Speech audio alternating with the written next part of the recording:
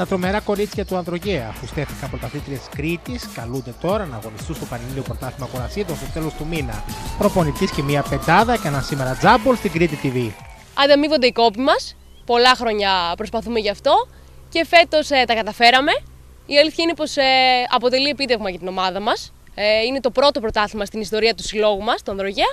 Ξεκινήσαμε το μπασχετικό μας ταξίδι από το πρωτάθλημα στην Πάτρα που αγωνιστήκαμε με πολλές ομάδες που θα συναντήσουμε στο Πανελλήνιο και εκεί καταφέραμε να δεθούμε με τα συστήματα που μας ε, έδειξε ο coach. Ε, βρήκαμε τις θέσεις μας και καταλάβαμε τι ικανότητες έχει η κάθε μία, ώστε να μπορούμε να δεθούμε μεταξύ μας. Λοιπόν, από την αρχή της σεζόν ξεκινήσαμε πολύ δυναμικά.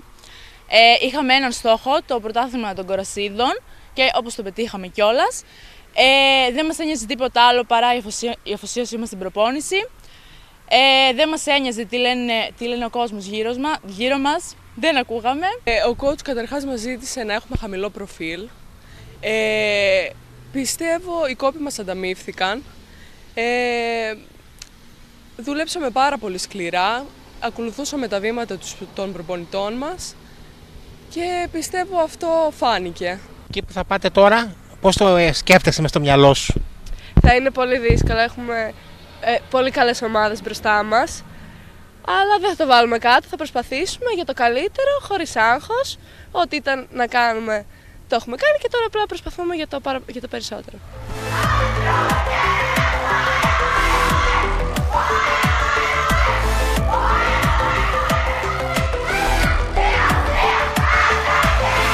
Οπότε ένα επόμενο βήμα είναι και η δημιουργία, να υποθέσω, γυναικείας ομάδας ώστε να προωθηθούν όλα αυτά τα κορίτσια για το μέλλον. Σωστά. Εμείς ε, αυτό θέλουμε να κάνουμε, να, να φτιάξουμε αυτούς τους αθλητές οι οποίοι αργότερα μπορούν να στελεχώσουν είτε την αντρική είτε τη γυναικεία μας ομάδα.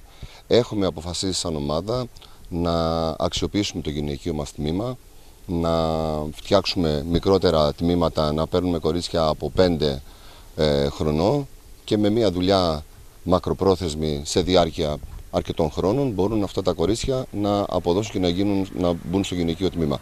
Όπως έχει γίνει και με τις συγκεκριμένες αθλήτριες, οι οποίες ε, δουλεύουν πάρα πολλά χρόνια στην, ε, και, και προπονούνται στην, ε, στην ομάδα μας.